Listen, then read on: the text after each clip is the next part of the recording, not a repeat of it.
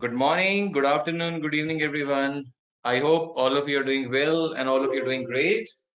So uh, let's get started. Before we get started, let me introduce myself. My name is Deepak. I have 15 plus years of experience in this field, and uh, I have done various deployments. I have certain patents on my name, and I have uh, working, you know, as an architect in this cloud industry. So uh, let's get started, guys. So today we're going to talk about Azure for Data Engineer. What is Azure? So before we talk about Azure, let's understand about the building block foundation, the basic of it, which is cloud. What exactly is cloud? So why we need the cloud? Why it basically it was introduced? So let's say, guys, you have to share the files to uh, someone else. Like you want to sh share the file with, uh, let's say, you know, your neighbor or something. How you can share the files to him? So if you're not using the cloud, the internet, you basically can use a wired connection. You can have maybe the file share via the LAN. You can have basically a media media, uh, you know, like a physical media through which you can share the files. So uh, that's again one of the way. However, that's not an efficient way because uh, it sounds easy, but like if I, had, if I had to share the file with someone who is not located in that uh, you know city, who is like even far in that specific city, who is in a different country, and if you are going to send the you know that uh, external drive, pen drive, hard drive to him, it's going to take a while, right? So for that, the cloud was introduced. In the case of cloud, what you do is you basically share your data to someone else, to a different party via the internet. So wherein you are going to have a dedicated virtual storage, which is going to be available and underlying is going to be in a physical storage where you can store the data and anyone can access it. Now, what we did uh, when this thing was introduced, we got a very good response from the market. So what we realized that, okay, that's a good thing that we can do basically with Azure now uh, sorry with cloud basically and certain vendors came in the market. Even so many companies launched their own cloud service. Like microsoft has a cloud service which is known as azure that you're going to learn today. That's something we're going to talk about today. Amazon have their own cloud service that the name of that cloud service is aws yeah you know but google google will have their own cloud service which is basically the gcp so likewise, we have basically different kind of Azure services, you know, cloud services which are provided by different different cloud vendors. Azure is like uh, you know some people give preference to Azure because the reason is that in so many organizations you know they already have a license partnership with Microsoft because they are using uh, Windows system, so they are not going to buy the license one by one. So what they do is they generally take a uh, license in bulk. Sometimes they do a partnership. So when they are going to go with the cloud service, they are going to get sometimes a good discount at a good tier as compared to the other cloud vendors. So that's something it, it, you get basically benefit with the Azure but that doesn't mean that other cloud services are not used in the market. Yes uh, so many people use different different uh, you know cloud services as well. So what exactly is azure? So azure is basically a cloud platform service which is provided by the microsoft. One of the other good benefit with the azure is that uh, since this is uh, provided by microsoft so if we talk about you know microsoft has variety of products. So it can be integrated very easily with uh, the variety of products that microsoft offers like product if you talk about you know product like your uh, if you talk if you're a developer you work on visual studio uh, like visual studio code or normal visual studio if you, you type the c sharp application it can be integrated directly uh, with that very easily. You talk about database. So there are like so so many applications that you cannot count on the fingers it can be integrated very so what exactly is azure? So azure like i said it's a cloud service easily which is being provided by the Microsoft to overcome the business challenges that you uh, get with the physical wire. So like a LAN and all, uh, wherein you don't have to, you are not going to have a dependency on it. Um, the one of the other uh, best benefit in the case of Azure is that it gives you the freedom to build, manage, and deploy application easily. It's not like that you have to worry about the different, um, you know, uh, applications like how you're going to deploy, how you're going to do. It basically gives you advantage. Your all the application can be deployed and managed easily here. So that's one of the biggest benefit. So moving on, talking about the different Azure features, Azure provides you a variety of features. First is on-demand provisioning, which means that it's going to ask you like what you need, when you need, and when to stop. So whenever you want to create an instance, create an application, you can without any kind of hassle. It's again depends on you, depend on your uh, requirement. You can just uh, spin up the resource, you can destroy the resource, and you can work on it. Next is scalability in minutes, which basically means that if I want to scale up or scale down the resource, I can do it in just minutes only, depending on my requirement. Let's say I build a virtual machine of Windows Server 2019 and I allocated 2 GB of RAM and later on realize, oh, that's very less. I want to increase the RAM. I want to increase it to 8 GB. You can. So you can scale up the resource, scale down the resource. Even one of the biggest advantage, you know, that's really another good feature about the case of Azure is that you can define the criteria. For example, you know, I developed an application which is hosted uh, on the internet, which is publicly accessible to the people on the internet. Now, uh, what exactly happening is at 2 a.m., you know, so many people are trying to access my website. Maybe for 2 to 4 a.m. Indian time, that's maybe, you know, let's say uh, afternoon for US, and at that time people are heavily using my website at that time. It's because I got a good response, and every time when so many requests are hitting, my CPU utilization is getting very high, which is uh, bringing down my entire environment. So what you can do is First way is that you can just increase the hard drive RAM. So if you're going to keep that hard drive RAM up all the time, you are going to be charged for it. So let's say you are getting that high peak time just for two hours. So it's not like that you have to increase the configuration for 24 hours. You can just uh, define the criteria in the case of Azure that uh, you know for from this to this time, like 2 to 4 a.m. for example, or whatever the condition you want to give. For example, I want to give my CPU utilization if it's going to go more than 90%, it should uh, double the resources and when it is less than 90 percent it should uh, you know have the resources so it's going to be done automatically. Along with that you can configure the alerts and in azure there's no you know another party uh, integration is required third party tool integration is required. You can have a direct integration from your system from your azure platform to your own uh, on-premise application if you have. And uh, you can just configure it for the alerting. For example if anything is working uh, not working as expected in that case you are going to get the alerts on your phone if you have configured the alerts via the cell phone if you convert, uh, you know, if you have basically configured the alerts via the, you know, email, you're going to get those alerts via the email itself. The next one basically is a pay as you consume. So this is like a unit of electricity. Whatever you consume, you have to pay for it. So it's not like that you have to pay uh, in bulk. You don't know like what exactly you are paying for, what's the scope of it. So it's pay as you consume. Whatever you consume, you basically pay for it only. So that's one again one of the other benefits. So the next one basically is the efficiency, uh, you know, efficiency of experts. So wherein if you are working on an application, you just have to focus on the application itself. You don't have to focus on the tools. You don't have to focus how that, uh, you know, that uh, technology works, that application works. You just have to focus on your uh, application itself. Now, last one basically is a measurable. So each and everything in the case of Azure, whatever you do, it's measurable. You can keep an eye on it. You can see that like what exactly you consumed, how much you consumed, so all for each and everything, uh, you know, it, it's going to be measured. So it's a measured service which is going to be available for real-time usage.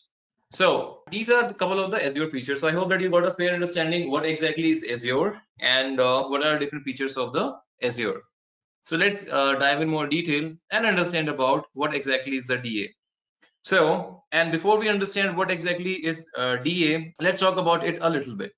So data analytics basically refers to the technique to analyze your data so that your productivity can be enhanced and the business basically can grow. So it's a concatenation of two things. The first thing is your business administration and exploratory data analysis where you're going to explore your data so that it can eventually increase your business. Now, why you need data analytics? Uh, as mentioned here, so that uh, so, you know your data is basically the crude oil. It's a crude oil raw thing from which your companies can go up and down. I mean, company can go up if you are managing it very easily. A company can go down if you're not managing it you are compromising it. Basically people can get the uh, you know like inside of your data with the help of data analytics what are the hidden components you can easily generate the report you can have the automation certain thing it can basically help you to increase your business. So what exactly is cloud analytics? So cloud analytics basically is a service which is going to run data analysis and the business intelligence operation in public or private cloud so cloud analytics company basically helps you to provide uh, scale up your business very easily and quickly. Now, the, what are the different type of cloud analytics? It's public cloud, private cloud, hybrid cloud. Public cloud basically is a cloud which is basically accessible, um, you know, on the public world where the people can have their own storage space, but it's going to be a shared infrastructure, like shared uh, space. You're going to host something and it's going to be available. Private cloud basically it's a cloud which is accessible only to one company and basically it acts as an extension of the company's IT infrastructure. Hybrid cloud basically is a mix of public and private cloud, wherein you are going to have benefit of your private cloud on the public network. So you are going to get a feeling that you are in a private cloud, however, you're going to be in a public network with the security of the public one. Now, what are the benefit of cloud analytics? Flexibility. That's the first one, which means that you can uh, increase or decrease the resources. You can basically, uh, you are, let's say you want to move to a different subscription, your company is getting acquired uh, in that case your company is moving to a different uh, organization network. You can just move uh, move to a different organization different network different components. So that's one of the major advantage that you get flexibility. Next one that you have is the scalability and agility. Like i said you can scale up and scale down the resources. It's not like that uh, once you have created any resource you cannot scale up and scale down. Even you can have an automation. You can define the condition when you want to scale up or scale down the resources. Next one that you have is the data consolidation. So in this case you can consolidate the data for better understanding like how exactly data is going to be considered, how data is going to be managed. Each and everything is going to be available in this case. Now, who is a data engineer? So data engineer basically is the one who develops, who construct, who test and maintain the complete architecture of your system. So each and everything end to end is going to be created, developed and maintained by the data engineer. Now, what are the skills that you require for data engineer? So you require the knowledge in uh, programming language, you require the knowledge in the database like SQL, Hadoop, you require knowledge in the machine learning, data architecture, and the data warehousing. Now, what are different roles and responsibilities? These are some of the common roles and responsibilities wherein it's like, you know, you have to develop the test cases, we have to develop the architecture. So it's you are going to be one who is going to be involved in end to end. You are going to have more visibility and more I would say if you're a person who really like to learn and play around with the technology, you're going to get a lot of benefit in this case. You are you will be able to have end-to-end -end learning experience in this case. If you talk about salary trend, uh, in US generally uh, salary trend is 90, $92,298 per annum. And in India, it's somewhere around 8.5 lakh rupees per annum. That's a average salary of your, you know, if you are going to plan to make a career. Now, if you're planning to take a course from Edureka, this is, you know, our structure. So we basically start with uh, Azure, where we talk about the basics of Azure, what exactly is Azure, some of the basic things about it, and then we do the practical hands-on on this. Then we, after that, in the next class, we talk about what, what is Azure Virtual Machine and networking, practical hands-on. Then we talked about Azure VMSS, availability zones, and the hands-on. Then we talked about different Azure app services like web application, logic app, all those kind of things, and the hands-on. Then we talked about Azure hybrid connectivity and site recovery, how you can even uh, you know have that resiliency, what are different type of uh, resiliencies you can have, each and everything in detail, the hands-on. In the next class, we talk about Azure storage solution design pattern, different type of storage that you have in the case of Azure, which has four type, you know, blob, file, queue, table, and the hands-on. Then we talked about Azure Kubernetes service, the Docker, the Kubernetes service, microservices with the practical hands-on in it. Then we talked about Azure Active Directory and role-based access control. What is uh, how you can basically synchronize your on-premise Active Directory with the Azure one, the practical hands-on. Then we talked about Azure monitoring services, how you can monitor your Azure uh, environment and the hands-on. And the last one we talked about is Azure design migration, wherein you want to migrate your data from on-premise to cloud, how you can, and at the end you're going to have a cape like this, like a superhero. So you're going to become an architect. Okay, now guys, let's talk about Azure Data Engineer. So what exactly is your uh, data engineer is going to do? So Azure uh, data engineer is responsible to design and implement the security, monitoring, privacy of data using the full stack of Azure data services to uh, satisfy the business need. So what are the skills that you require for data engineer? So you should have a good knowledge in um, you know on-premise uh, solutions and the cloud solutions. You should basically have end-to-end knowledge about like your different components of cloud, like what is platform as a service, infrastructure as a service, you know, so all this kind of thing, the difference between them. So all that kind of knowledge you require in detail. Now, uh, basically, what is the certification needed uh, for a job if you need a job in Azure Data Engineering?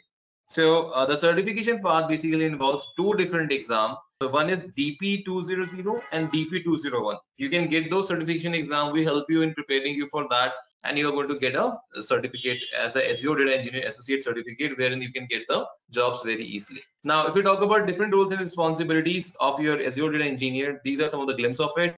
Wherein you're going to be, you know, you're uh, going to be a person who is going to be uh, responsible to design the architecture, design the flaws, design uh, the solution, and working on those standards. So basically, you are going to be one who is going to understand the requirement, design something, and uh, you know uh, build a solution, implement it, and then maintain it at the end. So Azure data uh, engineer salary is a little bit higher. Uh, in the case of US, uh, if you talk about it's $150,000 per year, which is a good thing. And the case of India, it's somewhere around 7.5 lakh rupees per annum. And this is learning path for the Azure. So if you're going to take a course from us, we start with Azure Storage Services. What are different Azure Storage Services that you have, different types? What is Azure Database Services? Azure also provides you the, you know, uh, database services, like, you know, without having any kind of a platform, which is directly database service. I want to build SQL. I don't have to install a VM, create a VM, configure it. I can see, uh, simply spin up a resource and I can get access of it. The different tools, what is Microsoft BI stack and the uh, different programming skills. All these kind of things you're going to learn. Now i will talk uh, you know talk about little bit about each and every component. In the case of azure storage services like i said there are four types. The blob queue file table. We talk about each and everything in detail. What is the use case of it? What are the pros and cons? At what at which scenario you have to use this? So all uh, each and everything we are going to talk about this in detail in the course. Next one is azure database service So it basically provides you database as service for SQL DB, document DB as service. So in this case, like I said, there is no need to uh, deploy any kind of platform. There is no need to deploy the virtual machine, everything. You can just simply deploy a resource, just uh, on-premise resource, and you can directly uh, going to be charged for the database only. You're not going to be charged for the virtual machine. So which is again a good cost-effective solution. Now, if we talk about the tools, uh, various tools like Tableau, Power BI, Alteryx, these are the various tools that will basically help you to understand and how you can integrate. And then you have a Microsoft uh, BI stack, the BI stack basically like, you know, SS, uh, the SQL servers, SSRS, we basically dive in more detail and the programming service, uh, you know, skills which you require the Python and R. So we basically help you on that. I hope that you have really enjoyed the session. You have really learned a lot. Thank you. Have a great day ahead. Bye-bye.